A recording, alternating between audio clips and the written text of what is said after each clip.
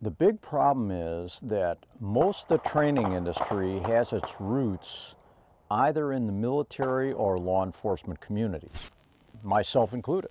You know, longtime military officer, special forces, et cetera, et cetera. I think sometimes we in the community lose sight of the fact that that mission is different.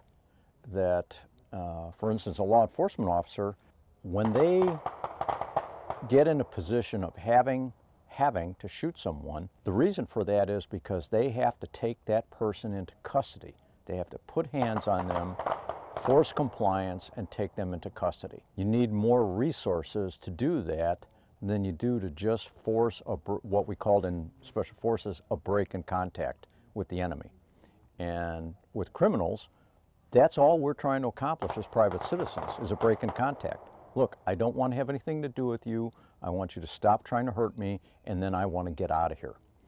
And in that context, smaller pistols can accomplish the same effect as a larger pistol uh, can in the law enforcement and military communities. In fact, I can document more failures of service pistols in the hands of law enforcement officers than I can small pistols in the hands of private citizens, despite, despite the fact that private citizens probably shoot five times as many people a year as law enforcement officers do.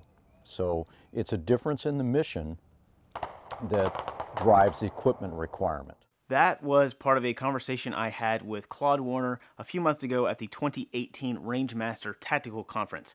Claude has built a reputation in the firearms training community for challenging conventional wisdom, and one of the topics he is best known for is using small caliber handguns for personal protection. If you're not familiar with Claude, I would encourage you to take a look at his blog, tacticalprofessor.com.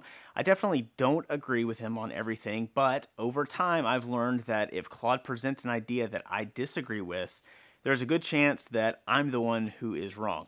Or at the very least, I need to seriously examine the reasons why I think I am right. So, following Claude over the last couple of years has led me to reconsider some of my assumptions about the utility of small caliber handguns. And I'm talking about anything that would be considered less powerful than 9mm and other traditional service calibers. So, 380 ACP, 32s, 22s, small caliber snub nose revolvers, basically guns that fall into the category of pocket pistols or mouse guns, or even larger guns that are chambered for those smaller cartridges. A popular opinion right now in the firearms training world is that you should always carry at minimum a compact double stack 9mm if you consider yourself serious about self-defense. In some cases, maybe you can carry something like a 9mm shield or a Glock 43 and still be in the cool kids club, but if you admit to carrying anything smaller than that, a lot of people will tell you that you're just not trying hard enough.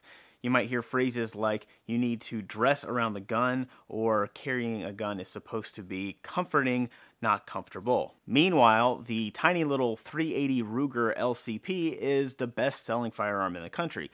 So, this message from the training community that you should not carry a small gun, it's not getting through to the average gun owner.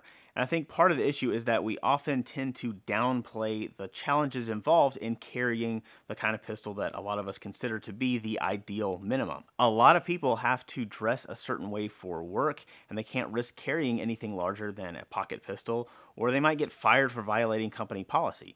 And even if it's not a work related issue, I think the vast majority of people who are interested in concealed carry simply are not willing to completely change the way they dress every day in order to conceal something as large as, say, a Glock 19. Other people might have health issues that prevent them from carrying a heavier gun all day or that make recoil management difficult.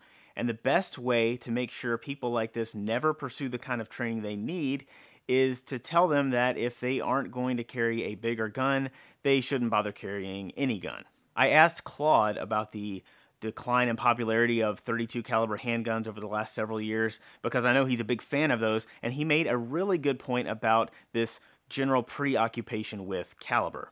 As I like to say in the community, it's all about the Indian, not the arrow, until they don't think the arrow is pointy enough. And then it's all about the arrow. Well, let's think about the arrow's function, is to cause a break in contact, not to render that person incapable. So if we shoot someone with a 32 and the guy runs off, is that a success? Absolutely. That's all we care about. Now, to a law enforcement officer, that would be a failure because they couldn't put the bracelets on them. But in our case, we don't care. Ultimately, we're poking holes in people with handguns. Look, folks, it's a handgun, okay? Uh, mathematically, if you work out what's the difference between the size of the frontal area of a 9 millimeter or 45 versus the size of the average male torso. And the, and the difference is that, that the 45 is 22 hundredths of 1% bigger than the 9mm. Wow, that's impressive. 22 hundredths of 1%. The fact of the matter is, as John Farnam says, they're all pathetic pop guns. So, but if we put that pop in the right place, then it becomes a lot more effective. Now, before anyone gets too upset, I do not believe Claude is saying that caliber doesn't matter at all or that it never makes a difference in a fight. But those incidents where the ammo used in the gun is the deciding factor represent a very small percentage of private citizen involved defensive shootings. The factors we prioritize in our equipment selection and in our training should probably reflect the type of scenarios we are most likely to encounter. Now, I'm concerned about our um, preoccupation as an industry with what John Johnson calls sentinel events. That very, you know, distinct outlier. And if we were, if we had unlimited training resources, okay, that's great. You know, let's be prepared for everything. But ultimately, much of life is ruled by the Pareto principle, the 80-20 rule, uh, where 80% of the benefit comes from 20% of the, you know, resource expenditure. So I like to think about focusing on let's solve the 80-20 problem first, and then if we have time left over, let's think about the other things. So for instance, the, you know, the biggest problem that we have is, is still one person, usually a guy, tries to rob us or assault us or kill us or whatever. Let's be ready to deal with him first and, and in most cases, one or two shots will deal with that problem. Then after we've figured that problem out, how to solve it, then let's move on to, to the further outliers and ultimately to the sentinel events. And right away people want to focus on the sentinel event.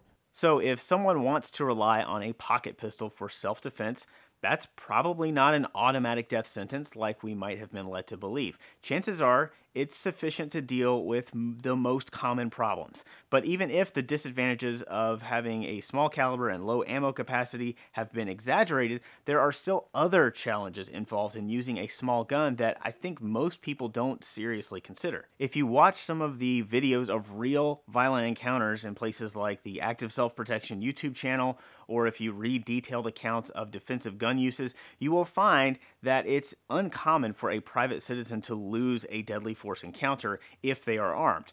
But in those cases when an armed citizen is killed or seriously injured, it's often at least partly because of one of the following issues. The gun was inaccessible and they could not get it out quickly enough.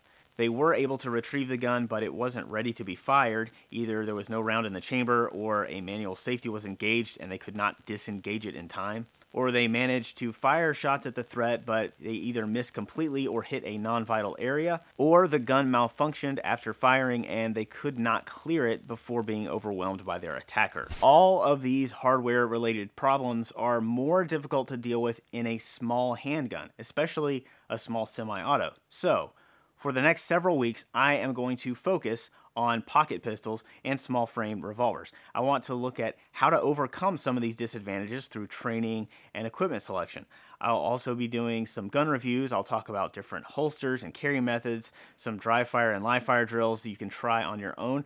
All that is coming up very soon. In the meantime, you can support our content by getting your ammo from us with lightning fast shipping at luckygunner.com.